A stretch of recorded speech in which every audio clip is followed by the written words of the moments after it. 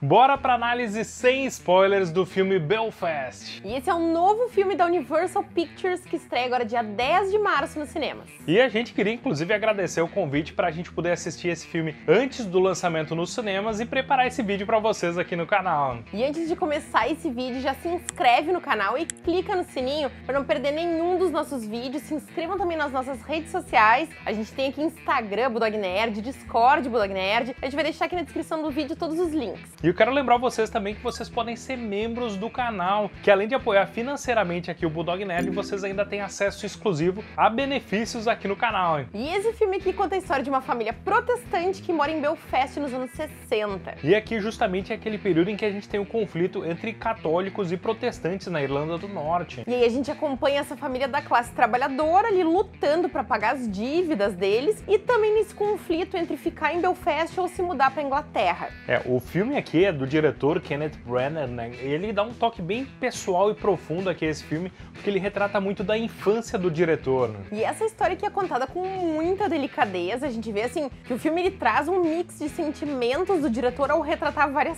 cenas aqui. É, a gente vê muitos momentos ali de saudade nas conversas ali do menino com a família, a gente vê muito o medo dele pro, pelo conflito ali que tá rolando nas ruas, aquela insegurança dele, né? E também um amor profundo por aquele lugar que é o lugar da casa dele, do lar dele ali na infância.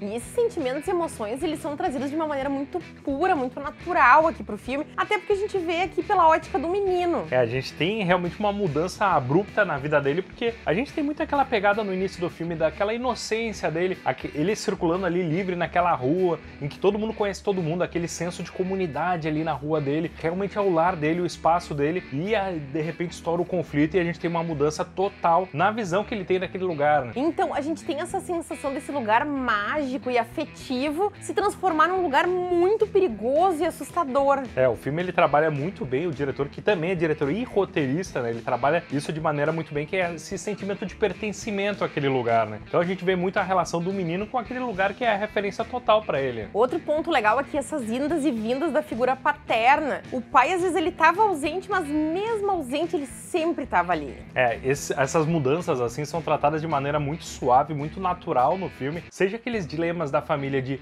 ficar ali na Irlanda do Norte ou sair, ou nas perdas e ganhos que eles têm ao longo dessa trajetória, tudo é, é tratado de uma maneira que é gostosa de assistir. E o roteiro, uma coisa que eu gostei, que ele tem uma pegada bem real, assim. Ao assistir, toda aquela parte daquela comunidade, daquela rua, a gente se sente parte daquilo ali, né? É, os personagens, eles são muito interessantes de acompanhar as histórias ali de cada um deles. O roteiro também, ele é muito envolvente o tempo inteiro ali, a gente fica ligado, querendo saber para onde que vai a história. E além de todo o conflito político e religioso que tá mudando completamente a cidade de Belfast. É, a gente vê ali os perigos deles ali por serem uma família protestante num momento em que estoura completamente o conflito ali entre católicos e protestantes, né? E tudo isso visto daquela ótica bem inocente do menino, a gente vê o filme inteiro da perspectiva dele. A química dos atores eu achei assim incrível.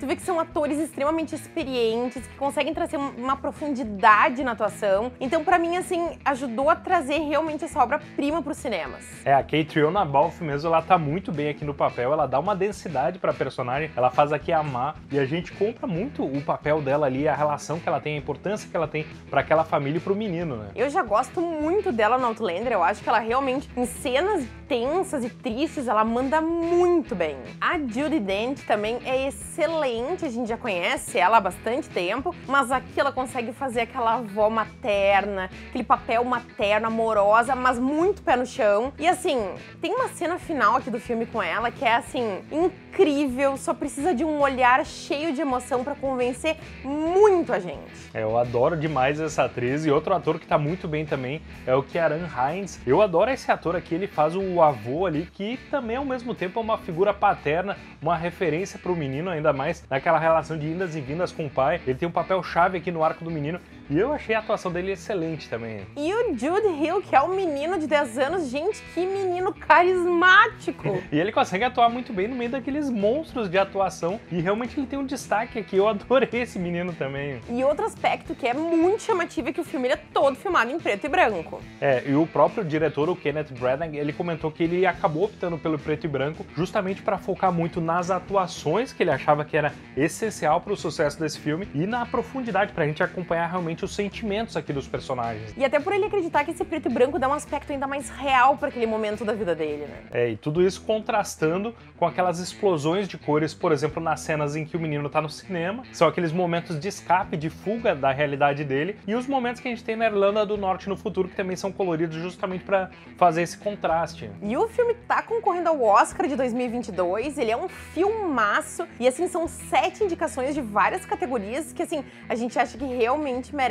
olha, levar várias dessas estatuetas. É, o filme que ele é delicado, ele é sutil, a gente vê muita construção dos personagens, e é um filme que é extremamente íntimo, pessoal, pro diretor, o Kenneth Branagh, mas a gente compra demais aquela situação, e a gente vê demais a situação do menino, como deve ter sido complicado ali naquela época. E a nossa nota pro filme, então, Belfast, é 5. Lembrando que as nossas notas vão de 1 a 5 e seguem os nossos critérios de avaliação. Então, se tu concorda, não concorda, comenta aqui embaixo, dá um like e te inscreve no canal para ficar por dentro dos próximos vídeos. E até a próxima!